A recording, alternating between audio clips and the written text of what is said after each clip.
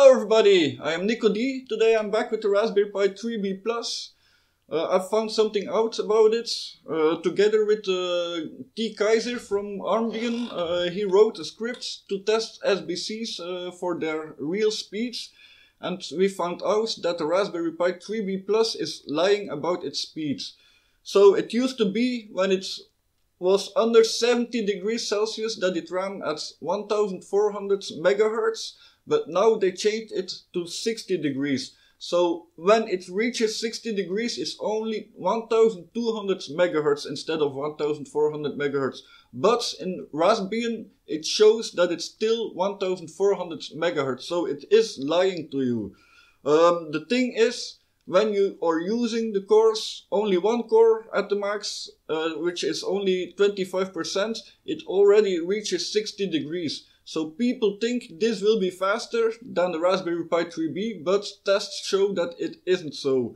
The only difference with the Raspberry Pi 3B is that the Raspberry Pi 3B can overheat to above 80 degrees, which uh, makes it so that it uh, will be uh, downclocked a lot more. But this one doesn't overheat to 80 degrees when maxed out. That's the only difference that uh, SoC now has, that the CPU now has only if you choose to uh, use a fan above it uh, so you can uh, cool it a lot more then you can use it at 1400 megahertz. So uh, let's go to the numbers. So T Kaiser or Thomas Kaiser has written a script to test different SBCs against each other uh, this uses a lot of different uh, benchmark tools like 7-zip or TinyMemBench and uh, it shows afterwards uh, the real CPU uh, clock speeds. So uh, it shows the fake clock speeds that is shown in Raspbian and it shows the real clock speed that is measured by the benchmark tools. To use this tool, it's very simple. So first we type in this line with sudo in front of it and then the second line uh, to run the application also with sudo in front of it. So now let's go to the first result. So this one is with Raspbian Stretch of uh, the 13th of March of 2018. So this was uh, the release date of uh, the Raspberry Pi 3B Plus. If we look here, we see that the temperature is 60 degrees or above 60 degrees and the real and fake clock speed is 1400 uh, megahertz. So uh, only when it reaches 70 degrees over here, uh, two times it uh, goes down to 1200 megahertz. This with the first release of the Raspbian for the Raspberry Pi 3B+. And now the same results with the latest Raspbian, so also no fan uh, is used here. It's the Raspberry Pi 3B Plus, the same boards, it's the same SD cards, the only difference is uh, the version of a Raspbian. So here we can see it's always above 60 degrees and if we look to the clock speeds it's always 1200 megahertz. So here we can see that the Raspbian has changed and you cannot use your CPU at 1400 anymore when it's uh, above 60 degrees. Now the results with the fan and with the heatsink and with the newest uh, release of uh, Raspbian. So if we go and look here, we will see it's always uh, well below 60 degrees Celsius and the real clock speed is always 1400 uh, megahertz. So if it's cooled, then it runs at 1400 megahertz, but if you don't cool it with a fan, it's always 1200 megahertz because it's uh, above 60 degrees Celsius. Now let's compare the numbers from uh, the June Raspbian and the one from uh, March. So the one with M uh, on the last is uh, from June, and the one with 5 uh, at the end is the one from March. So uh, in every score we see that the one from March is faster than the one from June. So I will let you watch the scores. Everything shows it.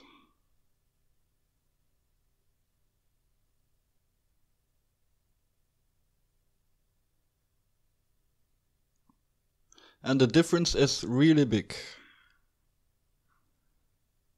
Here nanoseconds, uh, less nanoseconds is better, so you see uh, the June version did it worse than the March version.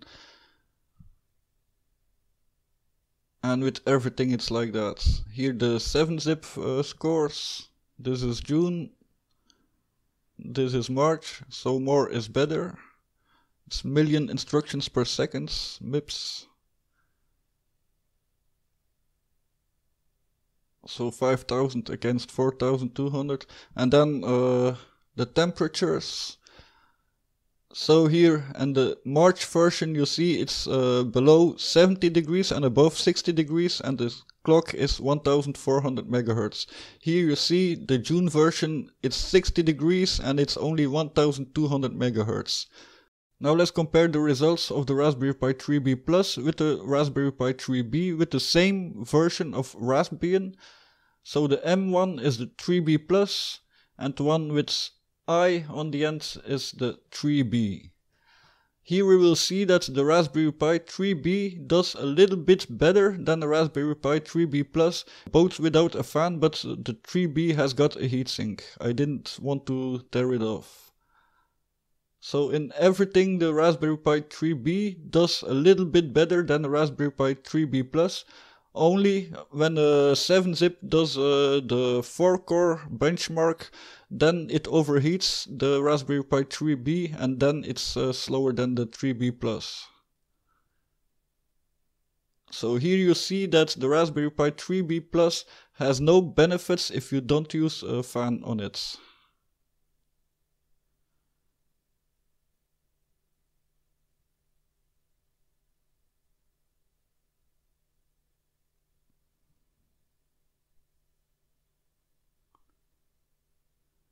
Here you see uh, it did better on the last uh, test.